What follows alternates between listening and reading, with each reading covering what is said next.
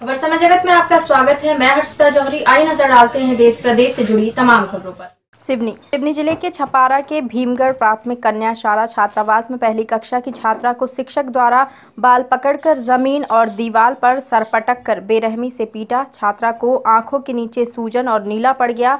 अधीक्षक की लापरवाही के कारण घटना घटित हुई।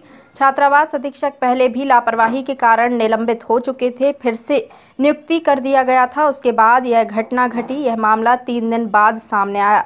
जाँच के लिए राकेश दुबे, अनुराग रावल, सिवनी और छपारा से पीड़ित छात्रा से मिलने पहुँचे। छात्राओं ने बताया कि शिक्षक द्वारा बेरहमी से पीटा गया है।